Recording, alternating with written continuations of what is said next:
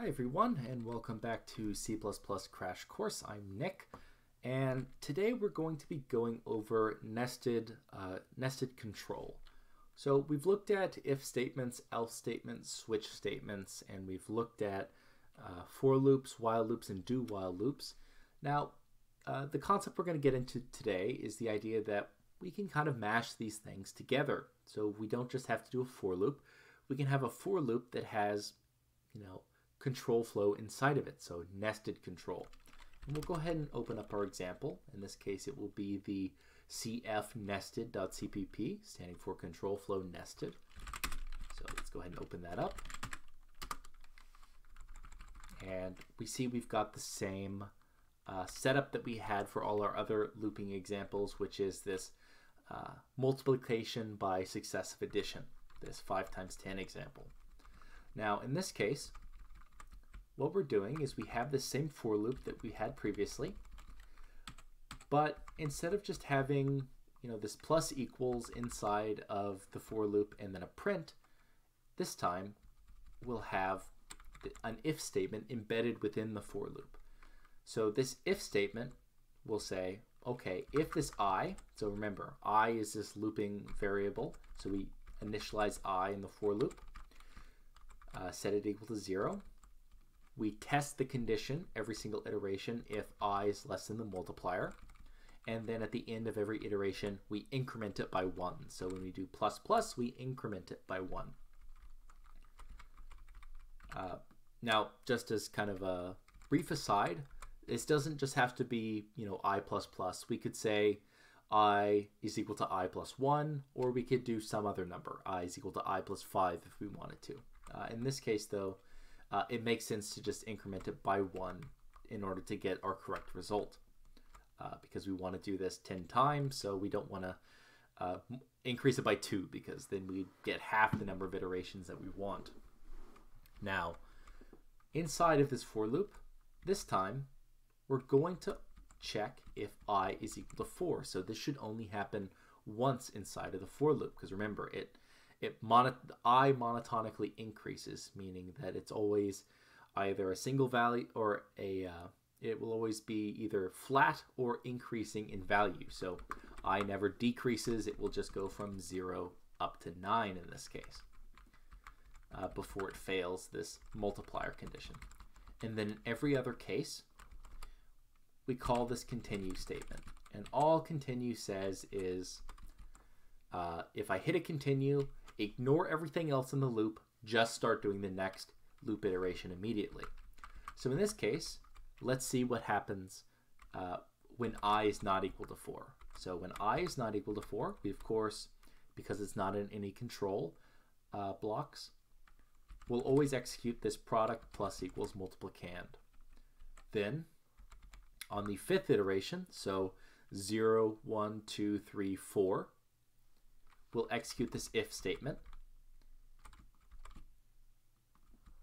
So we'll print out what iteration it is. So it should be 4 here. And then we should print out the product at that time.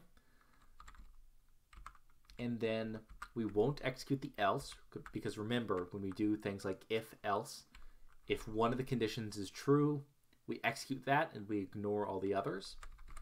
And then because this is just at the very end, we should print out this is printed only on iteration i, so it should be 4 again in this case.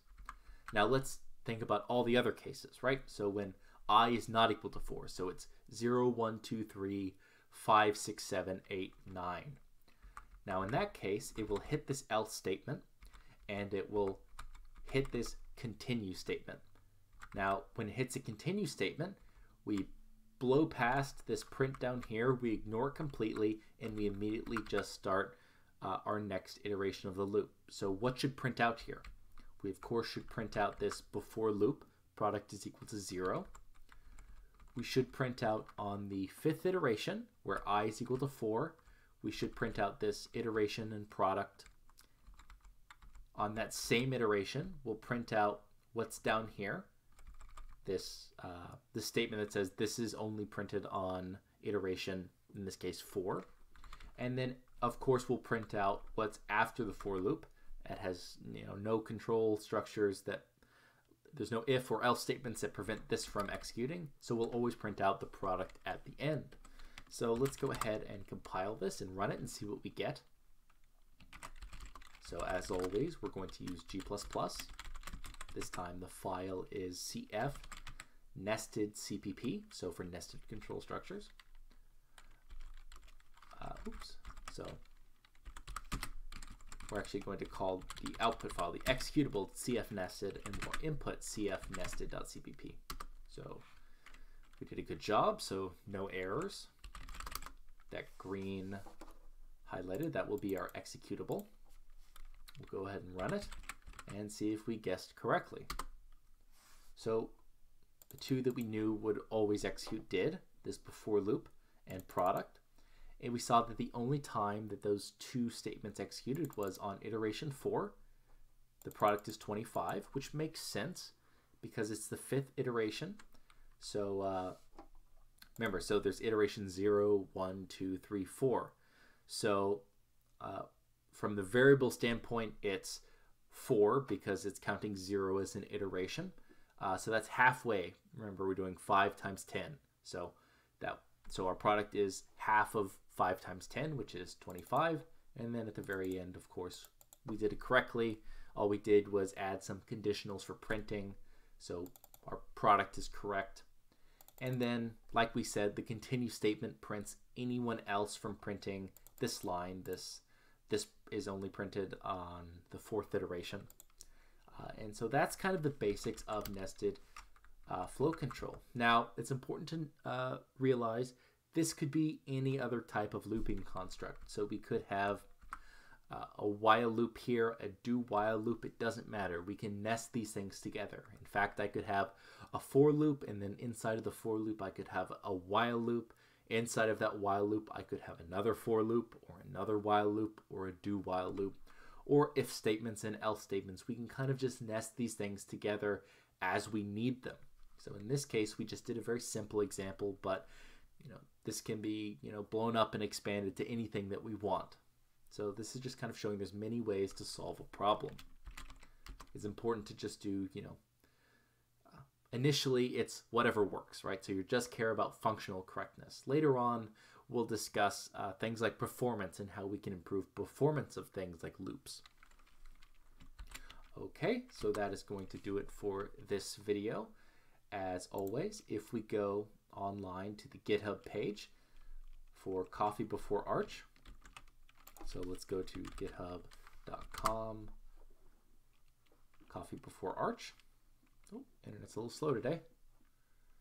Uh, I'm running this on a virtual machine, so this is on a Windows machine, but I'm using VirtualBox to uh, have a Linux environment. For some reason, the internet seems to go a lot slower on this. There we go.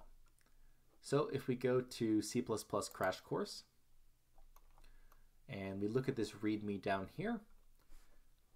So we'll have all the videos that we do uh, with links on the left, all the files that are used in the videos on the right, and in this one we did uh, control flow nested, this file. So if you click on it, it'll take us right to our example code.